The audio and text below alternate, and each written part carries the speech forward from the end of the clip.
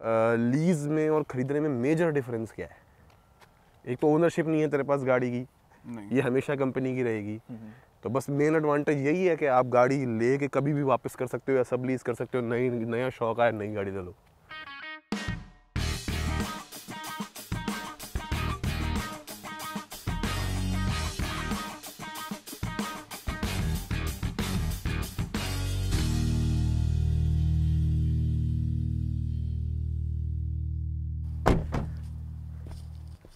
तो जी basically India में तो गाड़ियाँ खरीदी जाती हैं, मगर यहाँ पे गाड़ियाँ किराए पे, यानी कि लीज पे मिल जाती है। जैसे इंडिया में लोग ऑफ़िस और घर लेते हैं।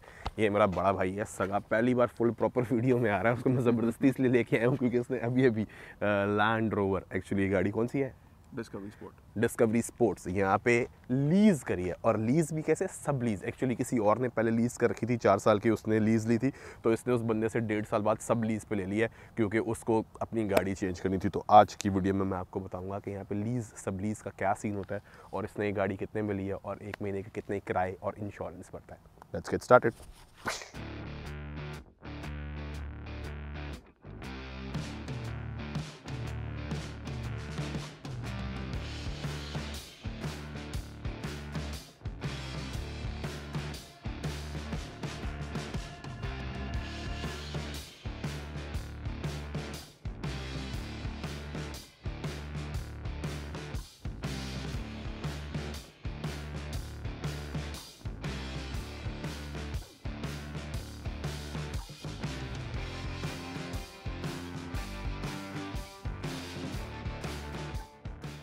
वैसे गाड़ी तो तू ले आया मगर क्या कहते हैं जो हिंदुस्तानियों का सबसे पहला सवाल होता है। कितना देती है? कितना देती है? क्या एवरेज है भाई? भाई एवरेज इतनी कुछ खास अच्छी नहीं है इसकी। अच्छा। थोड़ी तेज बोले तो तू ना बड़ा सॉफ्ट स्पोकन बंदा है माइक आवाज़ नहीं पकड़ेगा तेज बोले तेज। आ, नहीं इतना कुछ खास नहीं देती है। हाँ? इतना कुछ खास नहीं देती। मैंने खास पूछा नहीं मैंने पूछा कितनी देती है? वो तो मुझे ही पता इतनी बड़ी गाड़ी है जहाज़ कहाँ से एवरेज देगा ये? ये देता होगा अराउंड कितना? बारह लीटर पर हंड्रेड किलोमीटर्स बारह लीटर पर हंड्रेड किलोमीटर ये गणित हमें समझ नहीं आती। ये एक किलोमीटर में कितना ये बता? अब एक किलोमीटर में लगा ले डेढ़ लीटर। नहीं दस दस किलोमीटर पे डेढ़ लीटर। दस किलोमीटर पे डेढ़ लीटर यानी साढ़े सात मानू एक पे? हाँ। साढ़े सात की एवरेज है जी इस गाड़ी की और ये गाड़ी डीजल नहीं है पेट्रोल है। ऊपर से डलता भी प्रीमियम पेट्रोल ऊपर से महँगा वाला प्रीमियम वाला डलता है। जो नॉर्मल अगर एक दस एक बारह का आता है एक डॉलर बारह सेंट और ये माइंड यू अगैन फिर से बता दूँ कनेडियन डॉलर है बहुत लोगों को कन्फ्यूज़न हो जाती है। ये सत्तर डॉलर सत्तर रुपये वाला अमेरिकन नहीं बावन तिरपन चौवन रुपये वाला around fifty two fifty three rupees के आसपास वाला कनेडियन डॉलर है।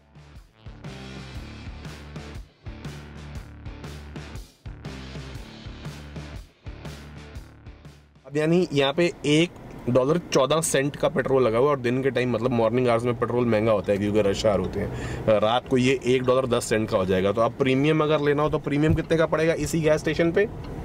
अभी है यहाँ पे नॉर्मल जो है वो है one one four point nine हाँ। और यही अगर प्रीमियम डलवाना तो वो होगा one thirty something one thirty पंद्रह सेंट फालतू। पर इस गैस स्टेशन पर हम कार वॉश कराने आए थे जो कि इस हॉल में होती है बट उससे पहले ये तो जान ले कि ये गाड़ी कहाँ से और कितने में आई है।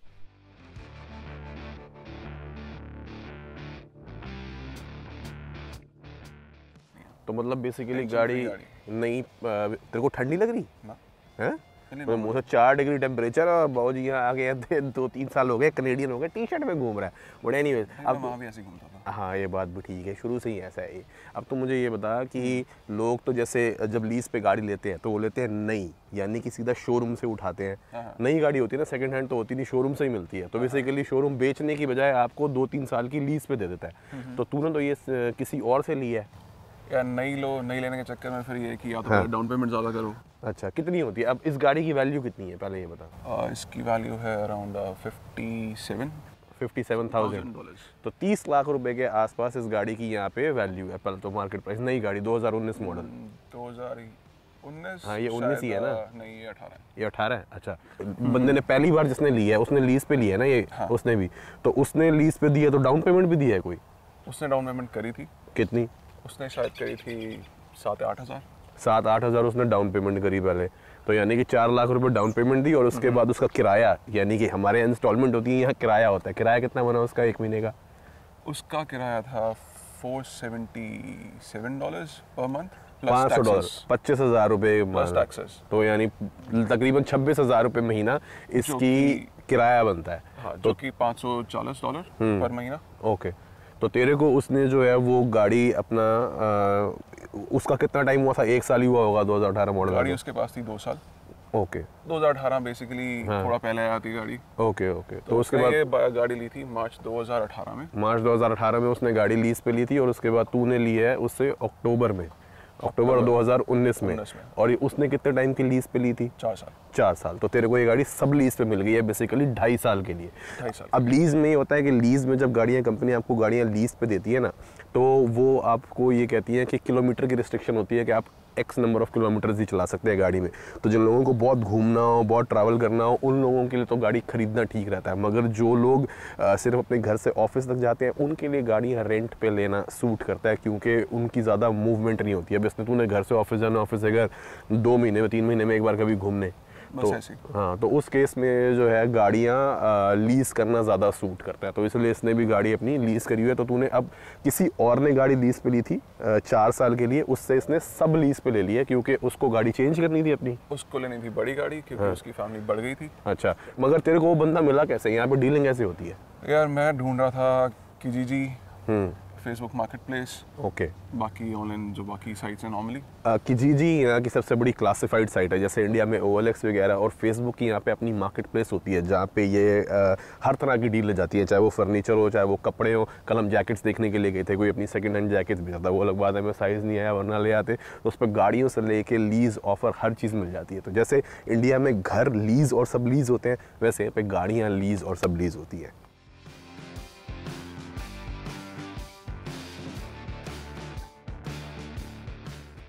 कितने किलोमीटर चली हुई थी? पंद्रह हज़ार। पंद्रह सोलह पंद्रह दो सौ तीन सौ। तो एक तरीके से नहीं है फिर यानी से मतलब कोई खास फीचर फीचर है इसके अंदर या? हाँ सबसे बढ़िया तो ये है इसकी छत खुली पूरी। नाइस फीचर क्या है बस बेसिकली पावरफुल गाड़ी है कंफर्टेबल है। हम्म। अगर मुझे ऑफ़ रोडिंग के लिए जाना है हाँ। मस्त गाड़ी है उस चीज़ के लिए। ऑल व्हील ड्राइव है ये? ऑल व्हील ड्राइव तो गाड़ी तो ये ले आया तो मैंने कैसे ज़रा पहले ये पूछ लो कि खर्चे वर्चे किस हिसाब से हुए यहाँ पे। अब बाबू जी आप पहले ये बताओ कि इसकी इंश्योरेंस कितना है? यहाँ पे ना इंश्योरेंस बहुत महँगा होता है। महीने के हिसाब से लोग इंश्योरेंस पे करते हैं साल के हिसाब से नहीं।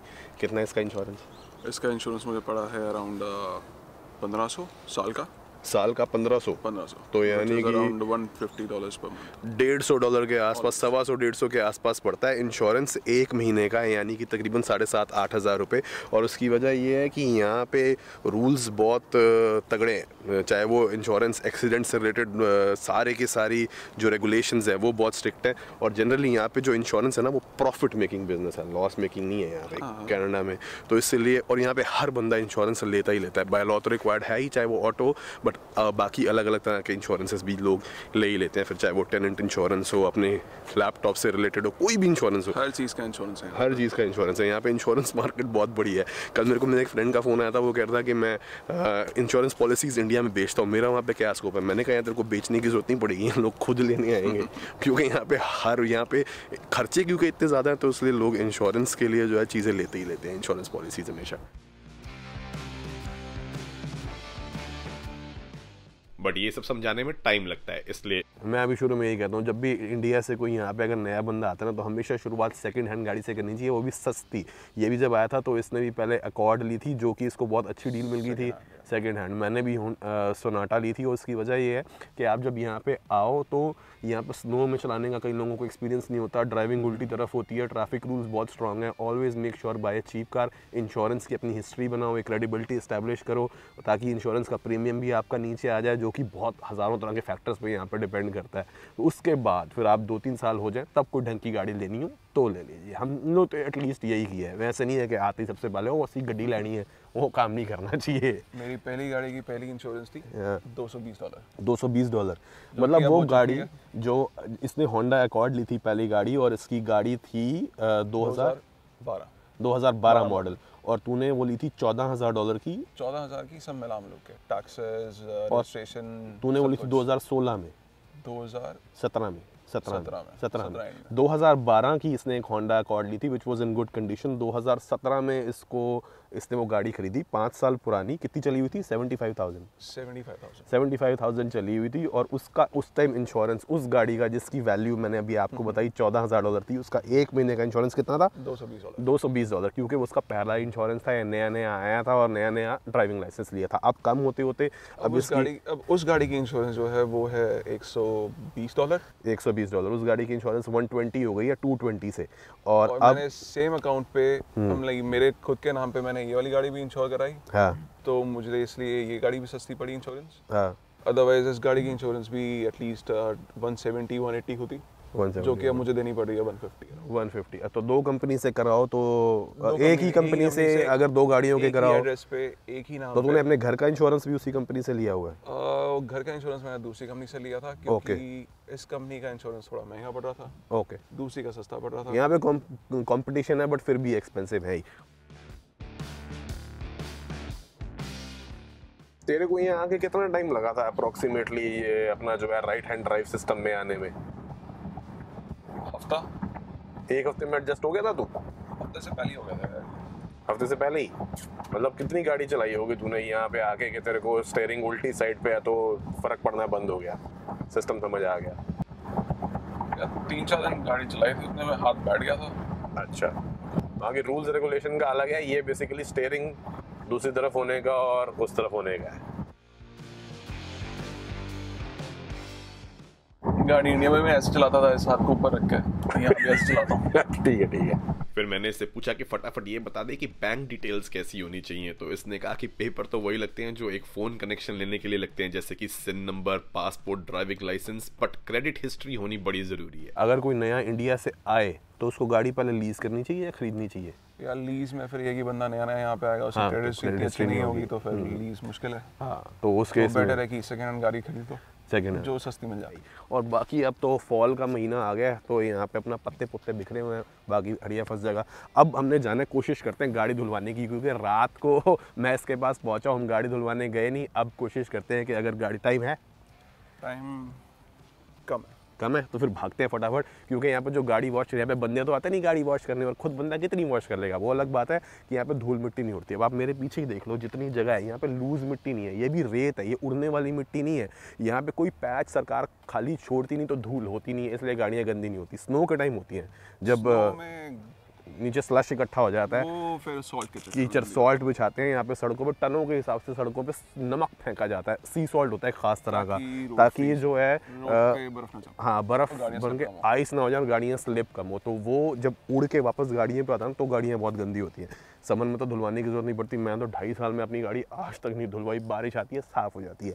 बट पता ही कितना बुरा हाल है इसी गाड़ी का। नहीं इतना बुरा भी नहीं है। वैसे तो साफ़ है बात है। तो बुरा ही तेरी गाड़ी तो भाई नहीं नहीं है पर तेरी पुरानी वाली बुरा है। बुरा है। तो इसलिए यहाँ पे गाड़ियाँ धुलवाने के लिए ना गैस स्टेशन के अंदर पूरी प्रॉपर एक जगह बनी होती है इसके अंदर आप गाड़ी डालते हो पहले उड़ता हुआ पानी आता है फिर साफ़ करने वाली चीज़ें आती है फिर सोप की लेयर आती है और उसका खर्चा कितना है? मिनिमम दस डॉलर दस डॉलर यानी पाँच सौ रुपये एक बार गाड़ी धुलवाने का खर्चा है क्योंकि यहाँ पे डेढ़ दो सौ रुपये में सुबह साफ़ करने वाला रामू नहीं आता। चलो एनीवेज निकले आगे।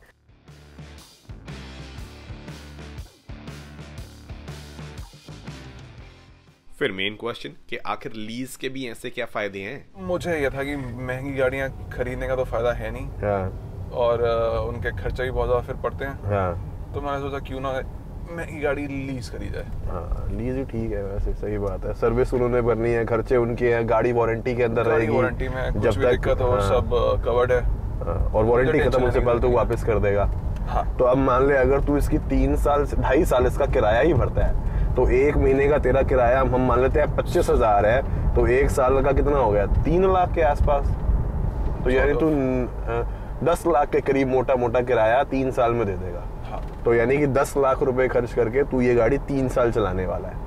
ठीक है? और मैंने तो नहीं दो साल। दो सवा दो साल। सवा दो साल तो हम तो दस लाख से भी कम ही लगे ना एक तरीके से मैंने हाँ। कैलकुलेशन तो। मैं मोटा मोटा ये मान ले कि तू दस लाख रुपए खर्च करके ये गाड़ी तीन साल चलाएगा ठीक है। बट अब इंडिया में अगर तूने ये गाड़ी खरीदी होती हाँ। जो कि पहले ही मान ले चालीस पचास लाख की आती है मुझे पता नहीं कितने की है इंडिया में तो अगर तू उसको लेके तीन साल चलाए और उसके बाद तू वो गाड़ी को बेचता तो वो बिकती दस लाख की चाहे खरीदी तूने चालीस की या तीस लाख टूट जाते इन गाड़ियों में। गाड़ी शोरूम से निकलती टूट जाती टूट जाते। हैं महँगी गाड़ियों में तो ये advantage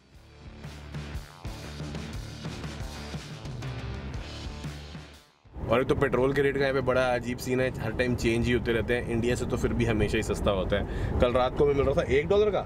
Nine nine point nine nine Costco पे, जो कि सबसे सस्ता होता है। वन नाइन्टी नाइन सेंट्स का बेसिकली और यानी कि एक डॉलर का, यानी कि तकरीबन चौवन रुपये लीटर। बट वैसे जो यूजुअली मिलता है आमतौर पे वो होता है एक रुपये दस पैसे से एक डॉलर दस सेंट से एक डॉलर बीस सेंट के बीच में यानी कि अराउंड साठ रुपये के आसपास।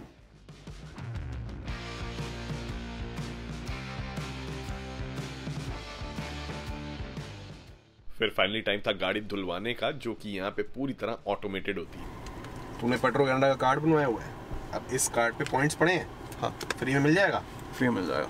वैसे कितने का होता है? दस दस बारह का? दस बारह का। ठीक है पकड़ में बनवा अभी हम जल्दी में हैं, इसलिए प्रोसेस फटाफट निपटाना पड़ेगा पेमेंट करके आता हूँ प्री पे वॉलेट का है वॉलेट बोर्ड की ज़रूरत क्या तुझे ओ अच्छा पक्का फ्री है हाँ हाँ ठीक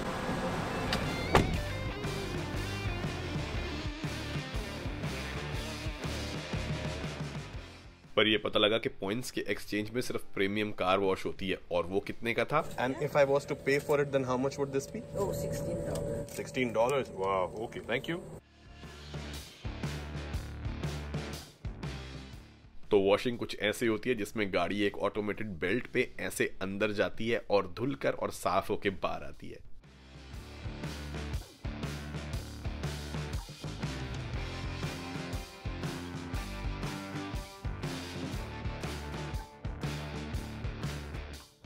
बट अगली बारी अपनी थी, इसलिए बेल्ट पे भी चढ़ना था।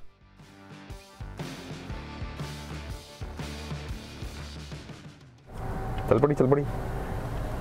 अरे जी बंद कर दो शीशे वीशे पानी आ जाएगा अंदर।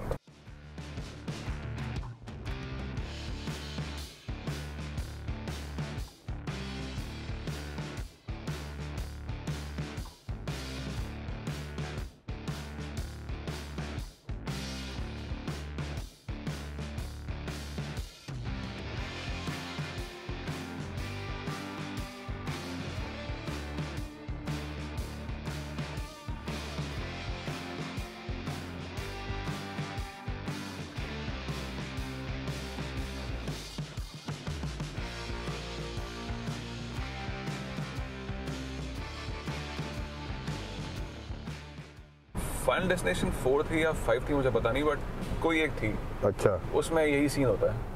ऊपर वाला खुल जाता है हाँ। और फिर वो बंद नहीं होता। होते ही भाई पंखे चल गए? अच्छा ड्रायर भी है? ड्रायर भी है।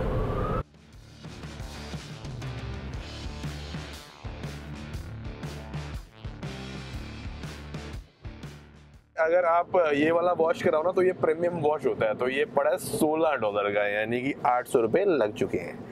और इस पूरे प्रोसेस में लगे मात्र पाँच मिनट। बट अगर आप लोगों को हम दोनों भाइयों का एक छोटा सा एफर्ट पसंद आया हो तो प्लीज़ लाइक बटन दबाना मत भूलेगा and for more such videos and the timely updates please don't forget to the subscribe button and the bell icon चलो ओके भाई। ठीक है। सामान। हाँ। बाबूजी चला रहे हैं मैं पीछे बैठ के इसके शॉट ले रहा हूँ क्योंकि बी रोल के लिए मेरे को थोड़ा सा पीछे बैठना पड़ता है उसने मेरे को टाइम ही बड़ा कम दिया है। आधा घंटा घूम मिला के दिया है इसने सारा का सारा काम निपटाने के लिए। कहा था आधे घंटे में जो पूछना है पूछ ले। मैंने कहा यार इसीलिए वीडियो जो है ना उतनी अमेजिंग शायद ना भी हो क्योंकि मेरे को सिर्फ़ आधा घंटा मिला है ये शूट करने के लिए। बट आप ये देख सकते हैं कि आधे घंटे में शूट करके मैं वीडियो कैसी बनाता क्या भाई? ठीक है ना? पता चलेगा। अच्छा।